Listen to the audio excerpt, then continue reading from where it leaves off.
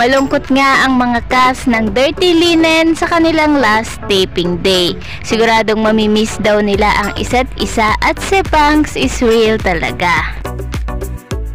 Tumagal nga ng halos 8 months ang pagsasama ng mga cast ng Dirty Linen sa kanilang taping.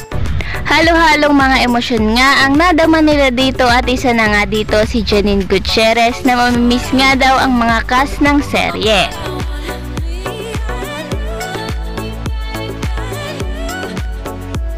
Janine! Wala ito. Wala ito, wala ito.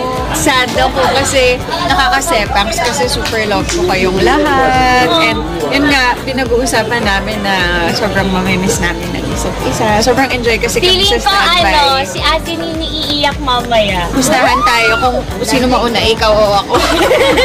Madami kasi akong mga eksena na kayo talagang nag eksena Tapos nandun lang ako sa likod ng poste, pinapanood ko kayo. So gusto ko yun kasi wala akong linya, tapos nood-nood lang ako. Para talaga akong Mata-mata audience. lang. Oo, para talaga akong audience. Tsaka yung mga chismisa ng mga manang precious, ganyan. Sila Alec Marites. Oo.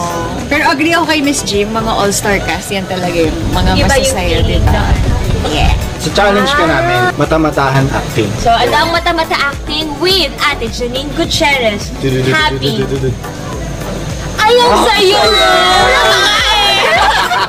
yung malungkot. Yung Malungkot. Ay, ang Malungkot! Natatakot. Ay, natatakot ka!